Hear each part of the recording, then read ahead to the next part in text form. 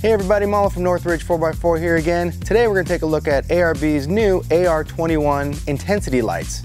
Let's take a quick look.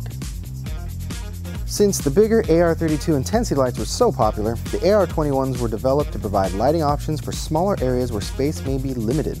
The AR21 spot and floodlights measure only 7 and a quarter inches wide by 8 and a quarter inches tall and about 4 and a half inches deep with the bracket on. Now let's take a closer look. After opening the box, you'll see the heavy padding protecting the lights. And after removing the top cover, you'll see all the goodies inside. The lights, mounting brackets, hardware, and the user guide.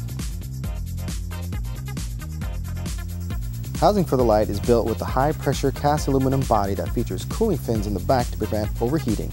It also enables the light to operate at peak efficiency in all temperatures. The housing is also finished with a textured polyester powder coat for further corrosion resistance. The lens is made from a polycarbonate and is virtually unbreakable.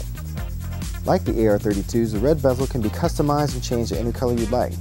Just pull the 8 bolts and you're good to go. Mounting brackets are made out of 304 stainless steel. They're well built with several mounting holes so you can put them just about anywhere you can think. Each light has a cap screw pivot bolt with a tamper-proof Torx security fastener. These are used to adjust the light angle and to deter any would-be thieves. And that about wraps it up. For more information, check out our site at northridge4x4.com. I'm Malo. Thanks for watching.